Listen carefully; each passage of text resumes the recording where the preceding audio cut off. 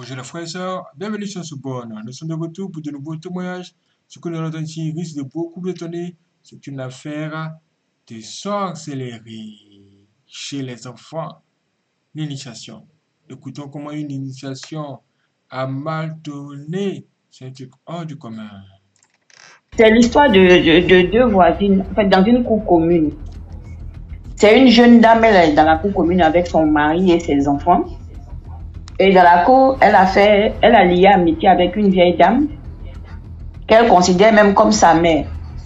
Une vieille dame qui était super gentille avec elle. C'est la dame même à, qui elle confiait ses petits soucis de couple, de, de tous les jours, quoi. Elle considérait même comme sa maman. Donc cette dame-là vivait avec ses trois petits-enfants.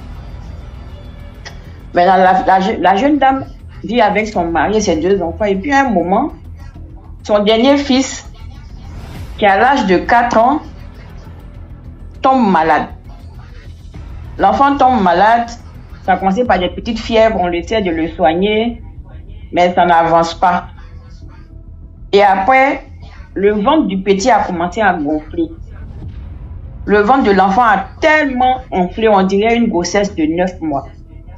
Donc, avec le peu de moyens financiers qu'ils ont, ils ont parcouru les hôpitaux, il n'y avait rien, ils sont allés chez les marabouts, ça n'a rien donné, chez les tradis praticiens, ça n'a rien donné. Donc, ils ont résolu finalement d'aller voir un homme de Dieu dont on leur avait parlé à l'intérieur du pays. Eux-mêmes, ils étaient à Boaké. Donc, on leur a, on leur a indiqué d'aller voir un homme de Dieu qui est, qui est à Divo. Donc, quand la famille arrive, c'est-à-dire la femme et son mari et leurs deux enfants, quand ils arrivent chez l'homme de Dieu, à Divo, là, avant même qu'ils ne les reçoivent, c'est là le petit qui a 4 ans là-bas commence à parler à son papa. L'enfant dit au papa, ah, papa ici, là, là, je sais que je vais guérir. Et le papa dit, mais comment ça? Il dit, non, je sais que je vais guérir parce que, en fait, la maladie que j'ai là, c'est ma grande soeur, c'est-à-dire sa soeur de 7 ans là. Et c'est ma grande soeur là qui m'a donné la maladie. Le papa lui comprend pas. Et c'est là maintenant, quand l'homme de Dieu va les recevoir, le petit de 4 ans là va expliquer que c'est sa grande soeur et les trois petits enfants de la mémé, de la même cour là, en fait, qui sont dans la sorcellerie et qui l'ont initié par force. Qu'est-ce qui s'est passé? C'est-à-dire, quand la, la, mémé a fait à manger et elle a invité les, les, enfants, ses petits enfants plus les, les deux enfants de la jeune dame, pour venir manger. Sauf que la, la viande avait été transformée. L'enfant lui l'a mangé. L'enfant de 4 ans lui l'a mangé. Et au milieu de la nuit maintenant, il voit sa grande sœur et les deux enfants de la cour venir le chercher pour les amener- pour l'emmener quelque part. L'enfant il a dit mais non lui il va pas. Parce que en fait quand on fait l'initiation dans le physique, c'est-à-dire que on te donne une nourriture spirituellement travaillée pour que tu manges. Quand tu manges, ça te donne la possibilité maintenant le soir de sortir de ton corps pour aller pratiquer la sorcellerie. Maintenant, l'initiation proprement dite même se termine dans le spirituel. C'est-à-dire quand tu arrives là-bas, on te donne de la viande à manger, de la viande humaine à manger, et on te fait boire du sang.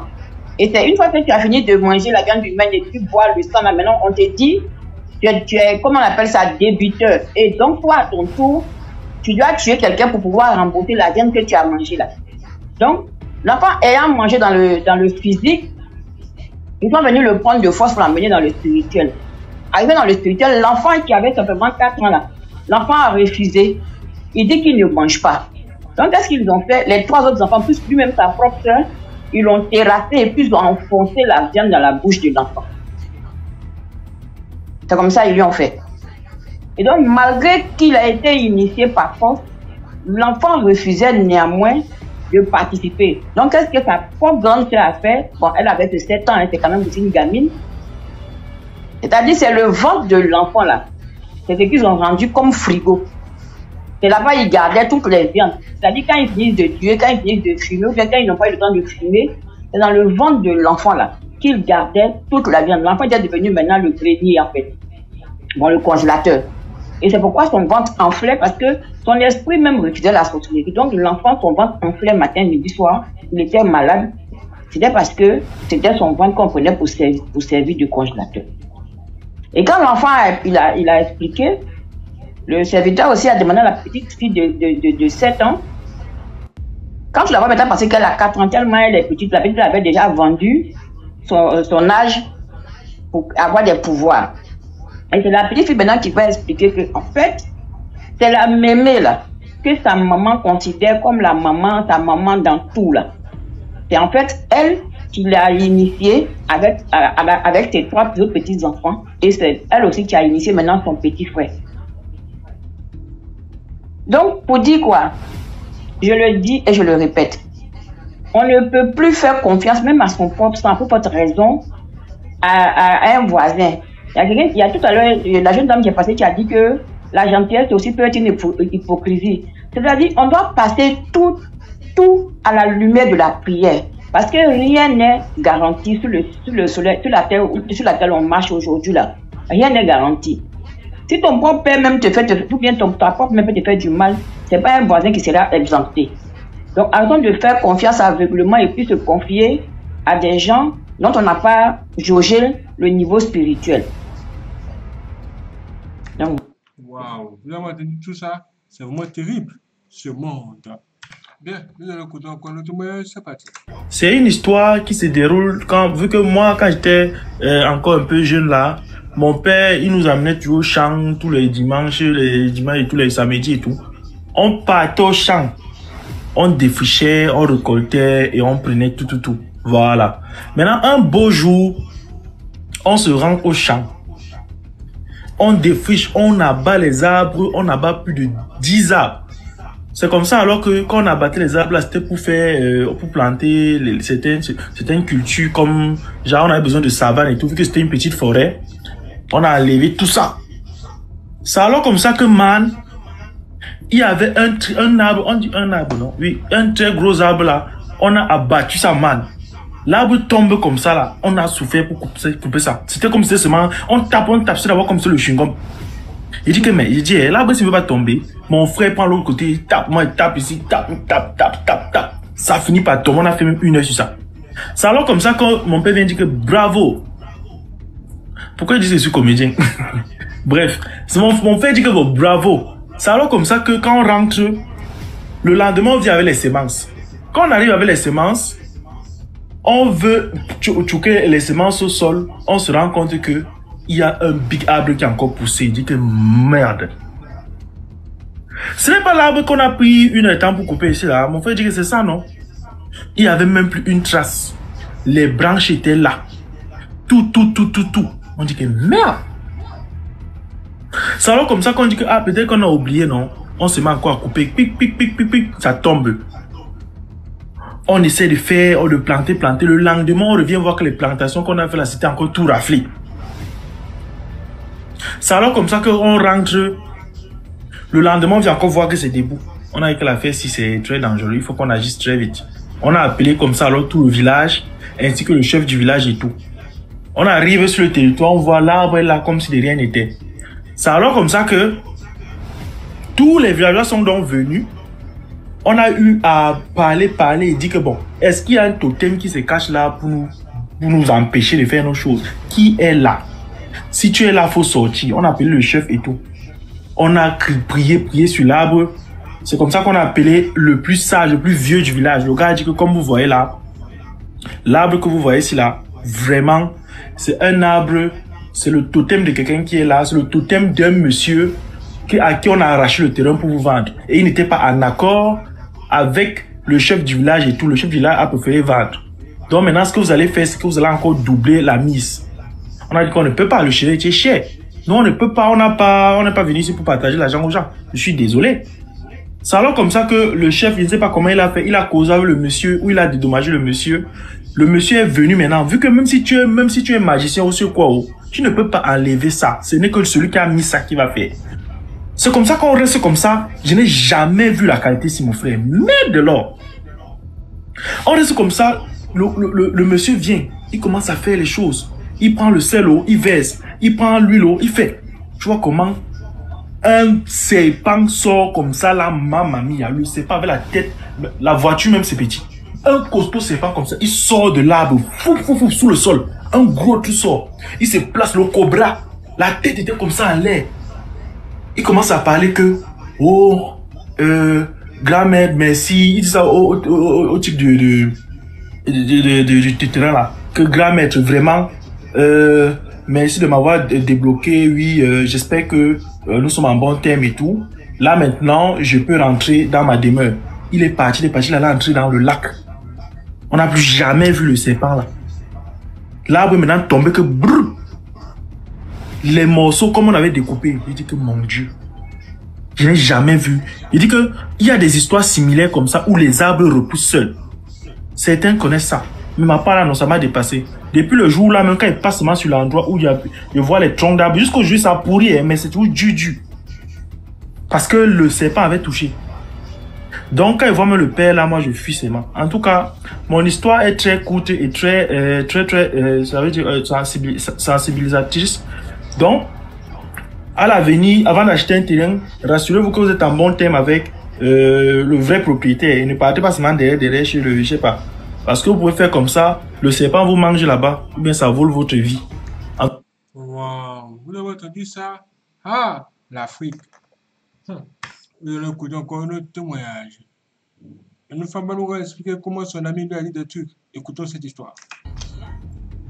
Il m'est arrivé une histoire. J'ai dit, c'est quoi? Elle me parle de... Elle était dans le métro la semaine dernière à Paris. Il y a une dame qui est rentrée. Elle s'est assise à côté d'elle. Ça dit, c'est des chaises qui, qui se regardent face à face en fait. Donc elle s'est mise face à elle. Elle a fixé une belle dame. Très très belle. Quand elle parlait, elle- quand elle parlait, elle avait encore la chair de poule. Elle dit qu'elle n'a jamais vu une beauté comme ça. Une dame blanche, avec des beaux yeux. Très belle. D'un coup, elle a fixé, et elle aussi, elle fixait la dame. Mais en priant, parce que c'est une musulmane. Elle priait, elle priait, la dame ne, la dame ne la quittait pas de, de- de- des yeux, en fait. Elle la fixait, et elle aussi la fixait. Il y a quelque chose qui s'est passé en elle. Elle a dit non, c'est bizarre quand même. Elle est très belle, mais il y a quelque chose qui ne va pas. Donc, quand euh, le métro s'est arrêté, elle est descendue et la dame aussi est descendue. Elle se tourne pour, euh, pour voir, pour regarder encore le derrière de la dame. La dame a disparu. Donc, elle s'est tournée, avant même de se tourner, quand la dame est passée à côté d'elle, elle a eu froid comme si elle était dans une chambre froide. Elle a commencé à grelotter du froid. Elle avait tellement froid parce que pourtant il fait déjà chaud.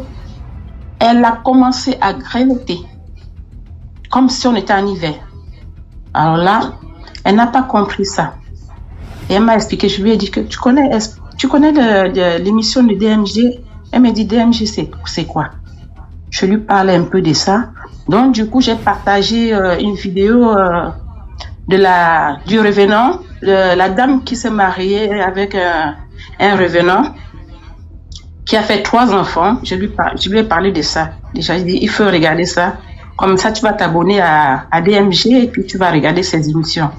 Franchement, ça m'a poussé quand je regardais tout à l'heure parce que la, la semaine dernière, vous avez dit que euh, il devait avoir le, on ne devait pas présenter le mercredi, ce serait, ce serait le mardi. Donc du coup, euh, je me suis Ouais. connectée, voilà. Et là, j'ai dit mais je ne suis jamais montée là. Comment je vais commencer? C'est juste une petite courte histoire, mais je vais quand même euh, expliquer ça. Ça va pas prendre du temps, mais c'est quelque chose qui m'a aussi touchée. J'ai dit ça dit c'est touchant en fait. Parce que moi j'ai dit non. Je lui ai dit écoute il faut pas avoir peur. Et c'est une croyante en fait. Elle est euh, musulmane et puis elle a commencé à prier. Elle a dit ce qui l'a frappé le froid l'a glacé comme ça quand la dame est passée à côté d'elle. Dès qu'elle se tourne elle a senti un froid. Elle se tourne la dame a disparu. Elle n'a rien compris. Elle a dit, elle me dit, c'est pas possible. Ça, ça me tourne, ça me ronge le, ça me ronge la tête. Depuis ce jour-là, ça fait une semaine de cela. Ça lui ronge la tête et Elle m'en a, parlé de ça. J'ai dit non, il faut regarder les histoires de DMG. Parce que il n'y a pas que des humains maintenant. hein. il y a aussi des, des gens qui reviennent hein, sur Terre. Donc, euh, il faut croire à cela. Merci. Waouh, vous avez entendu ça? Ha. Bien, Il y a quelques années, j'avais reçu une sœur chez moi qui était malade, donc elle est venue se faire soigner en France. On l'avait opérée et à un moment, elle savait pas où aller, enfin, quelqu'un de ma famille. Donc je l'ai reçue chez moi. J'ai libéré la chambre de mon fils et je dormais avec mon fils. Donc c'était à côté de la mienne. Puis tout de suite après cette chambre-là, il y avait la salle de bain des enfants. Un jour, en fin d'après-midi, je sais pas, j'étais en train de ranger les habits des enfants dans ma chambre. Donc j'avais tout plié et mis sur mon lit et du coup, j'avais pas de place où m'asseoir. Je sais pas ce qui m'est arrivé, j'ai eu un de ces coups de barre, mais une grosse, grosse fatigue. Je faisais rien de spécial que plier les habits, les habits lavés propres. Je me suis assise par terre, de sorte que de la porte de ma chambre, enfin, on regardait dans la salle de bain, la salle de bain des enfants. Et il faisait froid. En début d'hiver comme ça, euh, mon fils, il avait euh, trois ans et euh, une autre fille qui avait six ans. Donc, euh, en début d'hiver, je les lave pas le matin. Je passe un coup de gant. Surtout le garçon, un petit coup de gant. Et puis, je l'habille pour accompagner à la maternelle. Et le gant, on l'utilise pas tous les jours. Enfin, on l'utilise, on change pas de gant tous les jours. Donc, je posais sur le lavabo. Et le coup de barre, j'ai pas compris pourquoi j'ai eu le coup de barre tout de suite. Je me suis assise par terre dans ma chambre. Je vois la dame que j'ai reçue chez moi monter les escaliers, aller dans la salle de bain. Au lieu de fermer la porte, elle n'a pas fermé. Dans cette salle de bain, là, il y avait des toilettes. Elle n'a pas fermé. Elle a pris le gant de, que j'utilise pour nettoyer le visage de mes enfants, enfin faire la toilette rapidement. Elle a pris le gant, elle a humidifié légèrement, elle a commencé à laver ses fesses. Frotter, frotter, frotter ses fesses, retourner le gant, frotter, frotter, et puis reposer sur le, comment on appelle ça, sur le lavabo, comme si personne ne l'a utilisé, elle a aplati.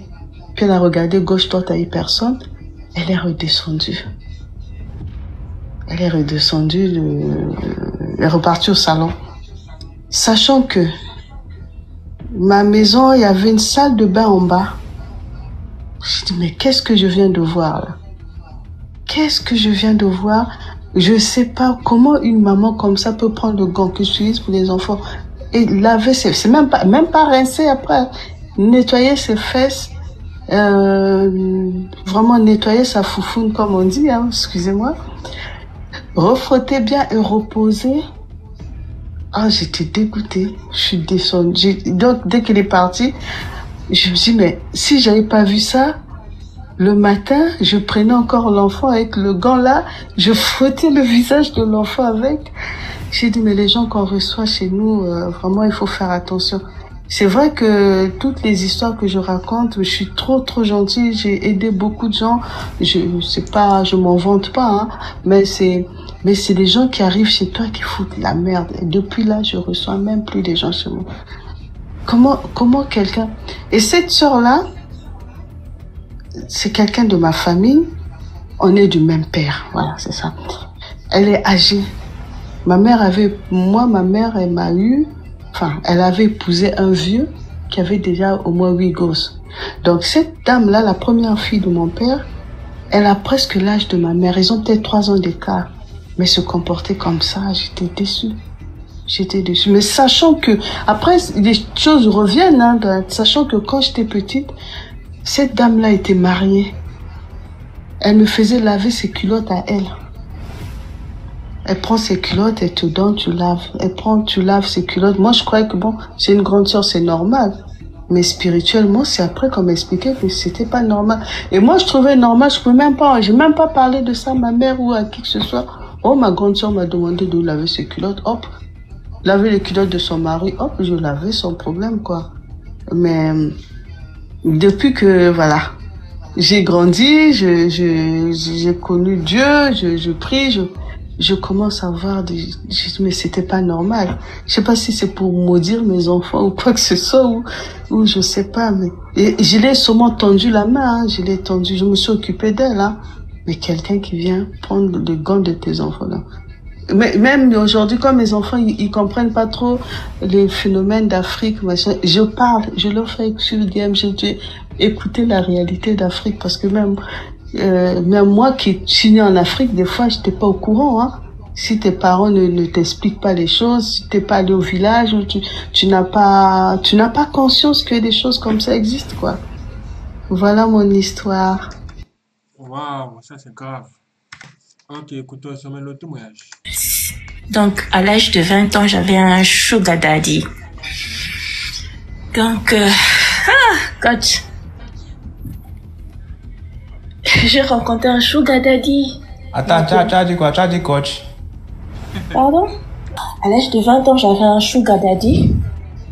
Et euh, tout se passait tellement bien. Il avait de l'argent. Donc, en RDC, c'était un, un patron, quoi. Numéro un d'une compagnie certaine dans tout le Congo. Hey, ce type me donnait de l'argent, je vous assure. Oh, yeah, yeah, yeah. Donc, ce que moi j'ai compris, c'est que tout exténué, quoi. Quand quelqu'un te donne tellement de choses que toi-même tu ne comprends pas pourquoi vraiment il faut faire attention. Surtout nous, les filles. Il m'a donné de l'argent, donc ces messieurs, c'est comme si il entrait dans mes pensées, quoi. Quand, vous savez, seulement les filles, quand tu viens, tu, as seulement l'idée, tu dirais que, ah, demain matin, je vais un peu lui dire que ma mère est malade pour qu'il me donne quelque chose. Ces messieurs n'attendaient même pas que tu les demandes. Ils me donnaient de l'argent. J'ai jamais eu le temps de dire aux messieurs que je peux avoir où tu peux. Ils me donnaient. On l'appelait même sponsor, blessa et tout et tout ça. Et ça s'est passé comme ça pendant, dans un mois, dans un mois, le monsieur m'a pris un appartement et il a tout meublé dans trois jours. Et moi, j'étais contente, vous savez, les filles. Et euh, après un mois, bon, excusez-moi, hein, parce que je dois vous raconter un peu, c'est un peu des histoires de sexe, mais je vais commencer à brécher pour que vous compreniez, parce que c'est à partir de là que ça s'est passé tout se passait normal et tout. Mais il y a un jour, je suis venue. Au lieu qu'on fasse tout à la normale comme toujours, le monsieur, il m'a pris, lui-même, il a descendu, comprenez. Il a mis la bouche là-bas, donc, vous comprenez. Hein? Je peux pas dire ça comme ça parce qu'il y a des papas et des seulement. Comment, tu, quand, tu, quand tu cales là, c'est que tu veux seulement qu'on imagine comment ça s'est passé, c'est comment, non? Oui, c'est pour que les gens sachent, pour qu'ils ne le fassent pas avec n'importe qui, quoi. Donc, ne laissez jamais, les filles, ne laissez jamais n'importe qui vous faire ces histoires là en bas et tout là. Il m'a pris là en bas.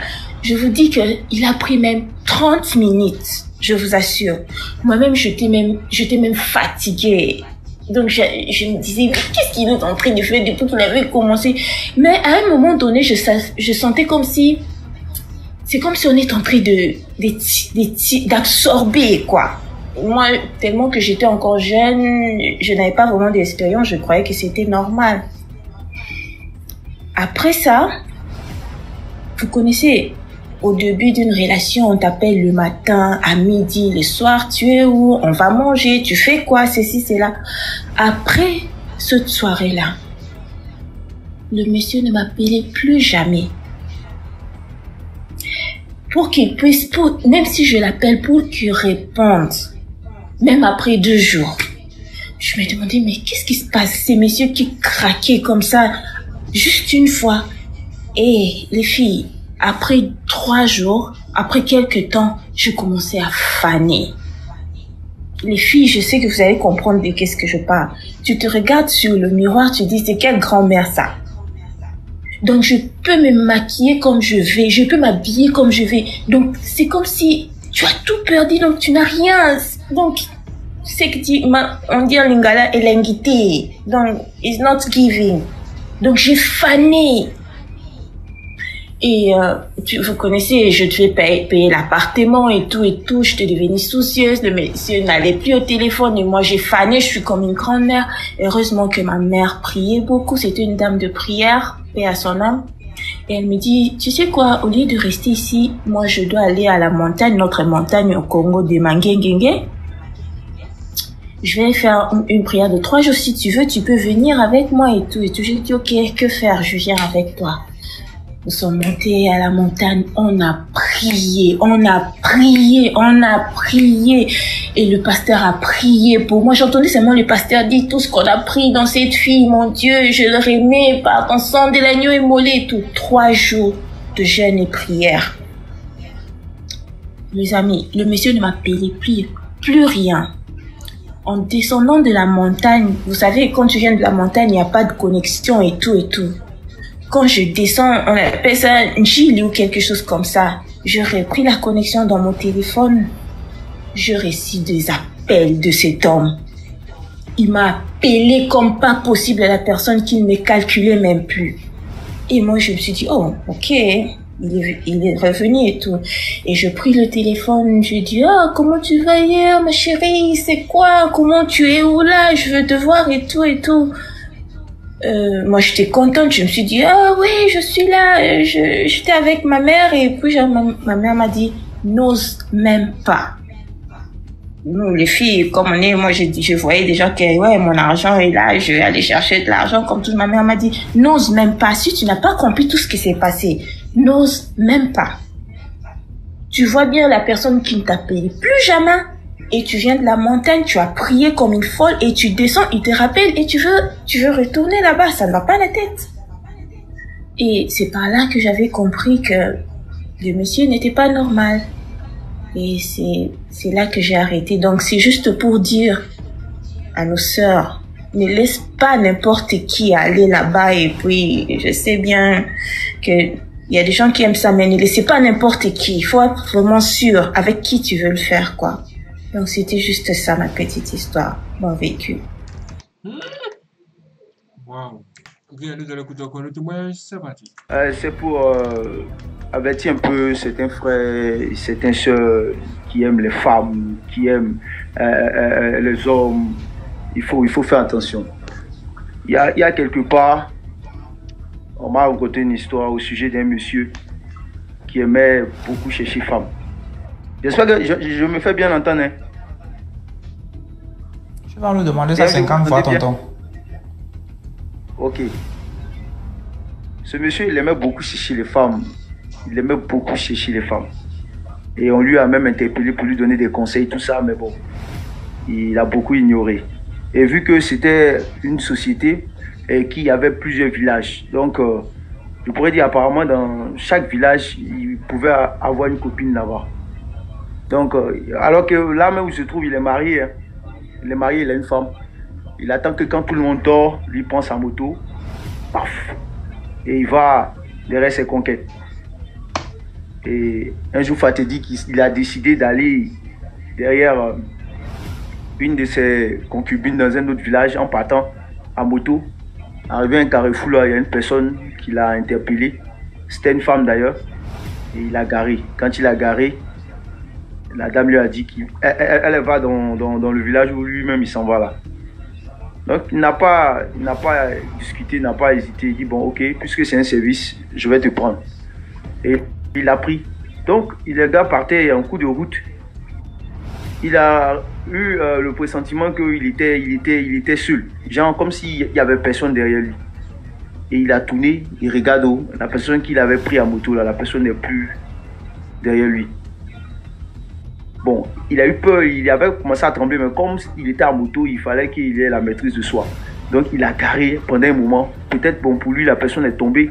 Donc il a essayé de, de, de, faire demi-tour, ou bien essayer de, garer pour marcher un peu pour voir, mais bon, la personne n'était pas là. Donc il avait commencé à avoir peur. Puis il a démarré la moto, mais malgré ça, il ne s'est pas retourné pour venir euh, sur ses pas en arrière. hein. Il a préféré continuer là où il partait.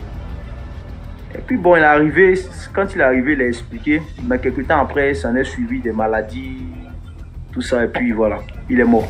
Donc euh, c'était, c'était, selon les propos de ceux qui ont euh, rencontré l'histoire, c'était euh, un esprit, voilà, qui était venu, voilà, le tenter, et puis voilà, il a, succombé. Donc, moi, j'aimerais encourager les frères et sœurs et dire que d'arrêter de, voilà, d'aller de gars en go, de femme en femme, tout ça. Hein, tu n'as pas respecté le fonctionnement de la loi qui régit le mariage, que tu es, es en concubinage avec une fille, reste avec elle. Tu avais un homme, reste avec lui. Hein, ça montre trop, tu gères ça avec lui. C'est- mieux. Aller de gauche à, à droite, non seulement vont voler vo- votre, étoile, et puis voilà, la mort peut suivre. Voilà, donc euh, chercher ces histoires de femmes, tout ça là, d'hommes, tout ça là, c'est pas bon. Voilà, il faut, il faut se caser, il faut se ranger. La vie, la vie vaut mieux que tout. Voilà, donc En tout cas, hein, c'est exactement ça. Les histoires de femmes, femmes à gauche, femmes à droite.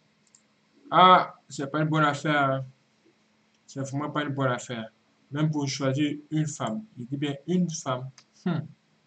Il va falloir vraiment prier comme jamais. Être concentré spirituellement parlant. Parce qu'il y a des femmes qu'il ne faut pas épouser. Il y a des femmes qu'il ne faut vraiment pas approcher. C'est même pas de la blague. Que Dieu nous garde. Que Dieu nous protège.